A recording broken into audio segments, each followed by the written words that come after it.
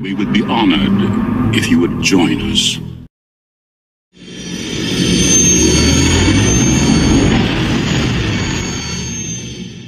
Hey everybody, thanks for tuning in. Just another, just something different today. Um, yeah, just sort of been playing around with some customs a little bit. Just you know, another one's on screen. These are kind of the, these are kind of the figures I've used. Um, so I was kind of inspired by a couple of couple of people on the Star Wars Vintage Collection Facebook group. Um, it's the it's the biggest one. Most most VC collectors are sort of in there on Facebook, um, in which they sort of done a bit of a redo on the VC uh, Phantom Menace Maul, um, just to sort of bring him up. So I did have a spare one. I've had a couple. This guy has spent a lot of time yeah, I don't think this is this isn't the actual robe he comes with. Um, so this is the VC Maul. It was released back in 2011. Um, I never got the re-release a few years ago when he was when he sort of came out again with the sort of and yeah, at the time it was a fantastic Maul. I think it still holds up body wise. Um, perhaps the head not so much these days. Um, so what people have actually been doing with this figure is giving him a bit of a head swap. So I basically got my spare, and I had another one of these. This is the Siege of Mandalore Vintage Collection Maul.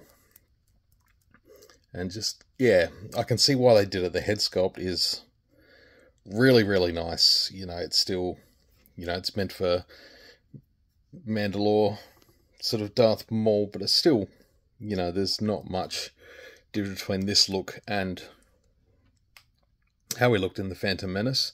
So yeah, I um I decided to take the the neck completely off of my other figure because this has got the uh the ball and socket. I found with the head swap, people in the in the group have done the head swap and just popped this head on the Darth Maul body. Um, I just found it didn't fit super well. So I actually sliced off the neck on both of these figures. Really pop the head off and uh, he really sort of clean cut in and around the collar as it sort of sits up around his neck. And then I was able to put in, once I'd cut out that neck, got sort of got it to a pretty close shape to fit in there, I uh, I did that. And this is this is what I come up with. Um, let me see if I can get the light down a little bit further so we can get a little bit of a brighter look at it. It's all falling apart.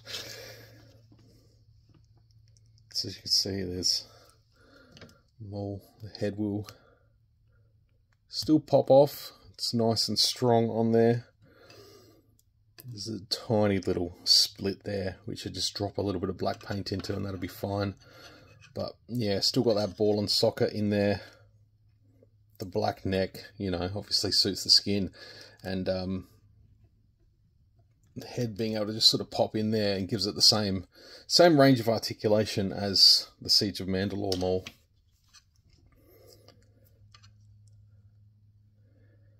So yeah, this is almost like a nice updated version of a VC sort of modern quality Maul.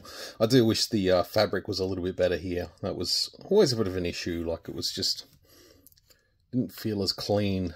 Just sort of random bits of fabric. I feel like they definitely do a little bit better on that these days. If not, you know, go for the plastic route, the sort of softer plastic like that, but a little bit more prominent, a bit longer.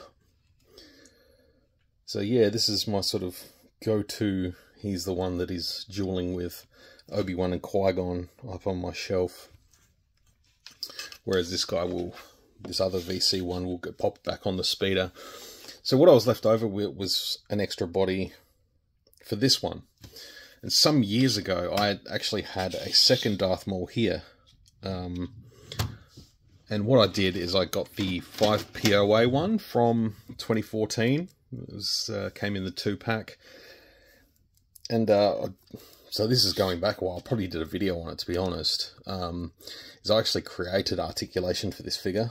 Made pegs so it could swivel at the uh, at the arms there. Created some joints for the knees. You know, it's not pretty. but you know what? It worked. It gave the figure a little bit more articulation, and I'd actually taken off the head off of this one, my old extra, and put it on this one. So yeah, have now having a spare body from this updated Siege of Mandalore, you know, arguably the same outfit, slightly different colours. Um, given that we never really got to see this one as it was, um, yeah, I've come up with with this. So we got the uh, sort of animated style head on the realistic body. The reds don't really match, um, and maybe his head is a little bit out of proportion in comparison. As you can even just see there, the head is a little bit bigger. But, you know, to have that extra articulation and basically, yeah, I'd use the same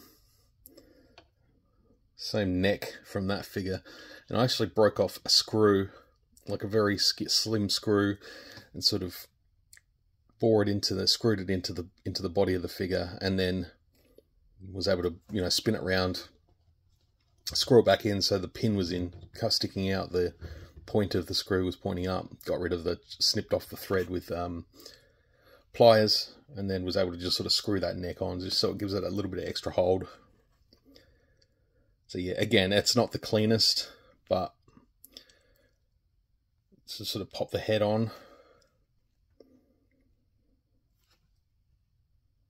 I don't know. I'm I'm I'm kind of happy with it. It's much better than than this body here.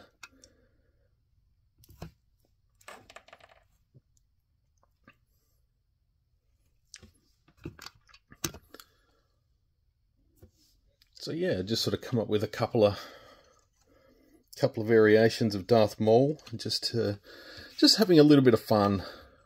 You know, it's it's been a long time since I've sort of played around with customizing on sort of at least this scale. It's I know it's not much, but it's, it's actually been fun to sort of play around. Some extra figures. This is this is an old, I think it was a GI Joe samurai sword that I sort of chopped down and painted to turn into a an alternate dark saber because I only ever had the one that came with Pre Vizsla back in the day. And this one's kind of just, it's kind of been fine to take its place. So it's just a, so he stands up there on the Clone Wars shelf with Savage.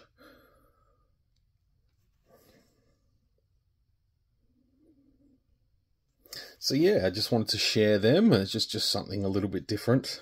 Um, wanted to, been thinking about recording something like this all week. I do have another idea for a video that I want to do next week. Um, just just enjoying my action figures basically that's what it's all about um, so yeah let me know what you think any other ideas?